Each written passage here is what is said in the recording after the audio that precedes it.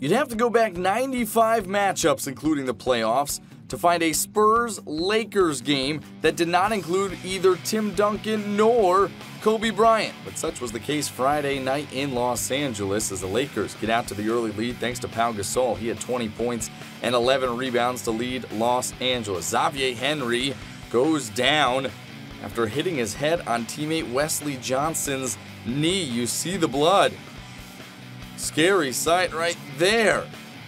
And he's got a smile on his face, cleans things up, and would return to the ball game. Pretty play here as the Spurs go on a run. Give and go. Tiago Splitter right back to Tony Parker, part of a 17 4 Spurs run.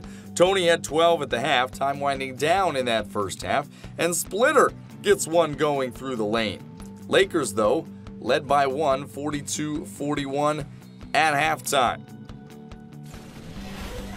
In the third quarter, more from Tony Parker. Had eight points in the quarter. Look at him drive.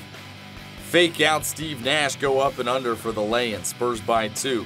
Then Parker, working on Nash again, gets a screen from Splitter, pulls up and knocks down a jumper. Spurs by three. Fourth quarter, though, lead changes aplenty. 14 of them in the quarter alone. Lakers getting some help from their bench. Wesley Johnson in the corner for three. And then here's Steve Blake to Jordan Hill for the lay in. Steve Nash didn't even play in the fourth quarter. He was just one of eight for the ball game. As the Lakers bench outscored their starters 45 to 40. Tied at 80. More from Parker. He grabs the loose ball and knocks it down. 24 points a game high. Also had six assists. And then Manu Ginobili off the Spurs. Steal. Ginobili all alone for the easy flush. He had 20 off the bench.